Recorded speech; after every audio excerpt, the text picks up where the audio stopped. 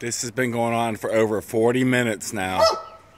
And the people are home. See? Cars in the driveway, dog barking, outdoor, door open.